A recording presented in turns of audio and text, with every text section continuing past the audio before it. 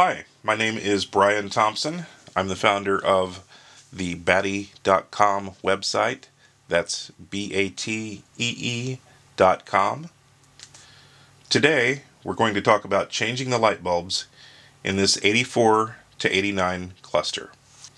A question I get a lot is how do I determine if the light bulbs are bad or if they need to be changed? There are four light bulbs that light up the cluster. They're located under these silver covers.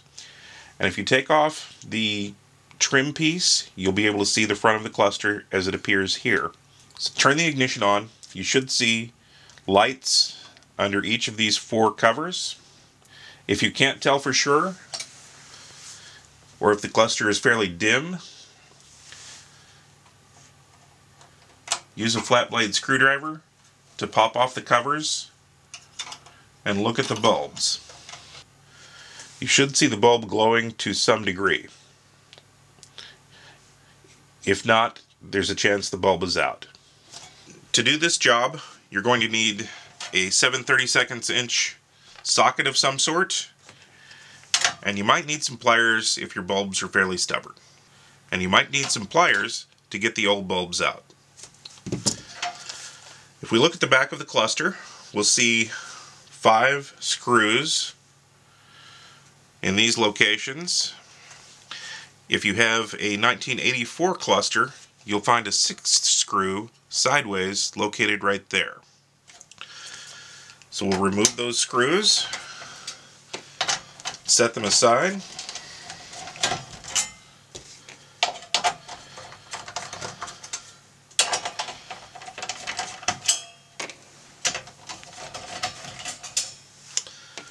And then we'll take the back off. The bulbs are located under this board. Holding this board in place, seven more 7 32 inch screws they're located here, here, here, here, here, and on either side of the connector, here and here. So we'll take those screws out, and again, set them aside.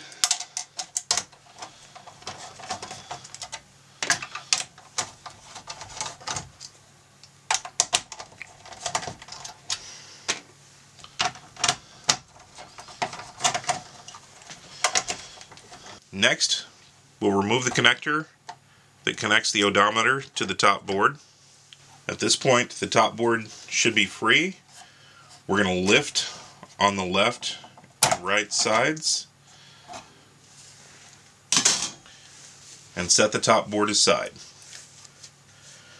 Here we see the seven bulbs in the cluster. The white bulbs, they might also be a green colored socket are the illumination bulbs.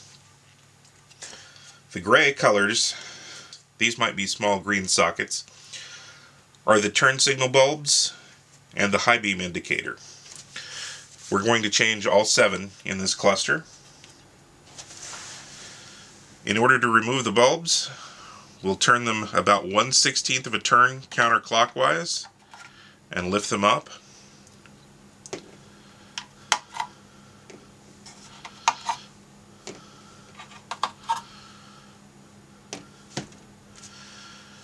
To remove the indicator bulbs, we'll do the same thing. Turn about 1 16th of a turn counterclockwise and set them aside.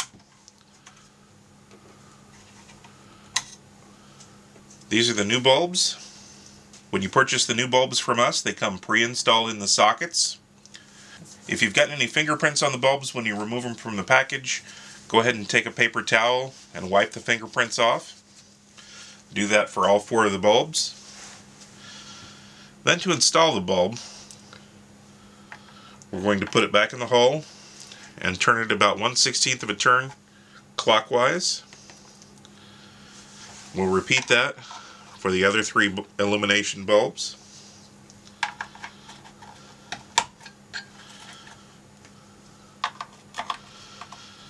So next, we're going to change the indicator bulbs.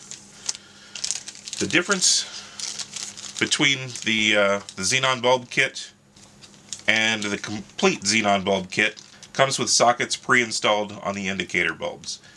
If you purchase the uh, the cheaper kit, you'll need to remove the bulbs from your sockets.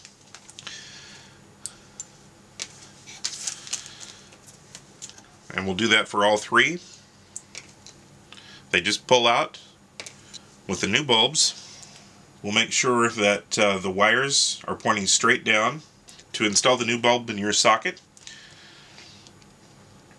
Just press it into place. When you've done that for all three bulbs, we'll reinstall them into the cluster. We'll press them into place and turn them about 1 16th of a turn clockwise until they snap into place.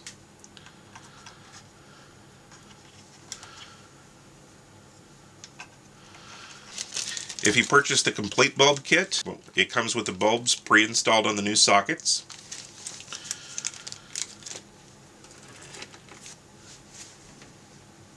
Sometimes the bulbs that are sold at auto parts stores um, are sold as uh, a bulb and socket combination and the bulb is not removable from the socket. If you're not able to remove the bulb, you'll need the complete kit. We also sell the sockets by themselves. After you've completed the bulb install, we'll replace the top board. Make sure that the 12 pins here are lined up with the 12 holes in the top board. And then gently press that connector into place. There's also an alignment pin located right here. Next, we'll reinstall the seven screws that hold the top board in place.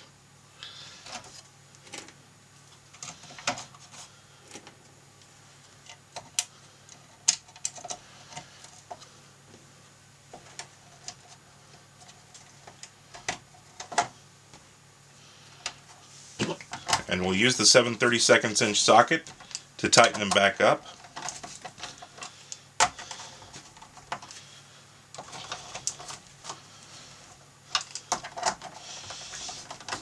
Okay. It's easy to over tighten the screws on either side of the connector so when you're tightening them back up be very careful. Finally, replace the odometer connector Make sure the connector touches both pins and that the wires are toward the odometer. Finally, replace the back and reinstall the five or six screws that hold the cover in place.